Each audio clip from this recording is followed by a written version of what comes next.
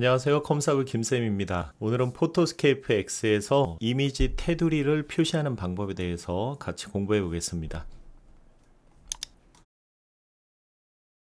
이미지를 하나 화면에 불러왔고요. 하단을 보시면 우물정자 같은 표시가 있는데 이 부분을 클릭하시면 이미지에 테두리가 표시됩니다. 선을 없애고 싶다면 클릭을 하면 테두리가 사라져요. 자 클릭 클릭 테두리를 표시하는 방법은 굉장히 단순하죠. 그런데 여기서 중요한 부분은 이 테두리 기능을 왜 사용해야 하는가 하는 점입니다. 일반 사진을 편집할 때는 굳이 테두리가 없어도 별 문제가 없지만 투명한 이미지를 만들거나 객체끼리 정렬을 할 때는 이 테두리 선이 반드시 필요합니다. 무슨 의미인지 실제 보여드릴게요.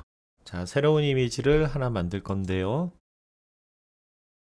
여기서 배경색 아래쪽을 보면 배경 불투명도라는 옵션이 있죠. 포토스케이프 X의 장점 중에 하나가 새로운 이미지를 만들 때 투명하게 만들 수 있다는 건데요.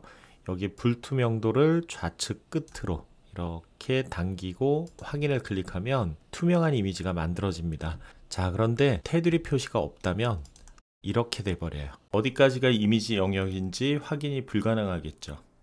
이 상태에서 이미지를 합성하거나 글씨를 쓴다면 이미지 영역이 어디까지인지를 모르기 때문에 개체가 영역을 벗어날 수 있겠죠.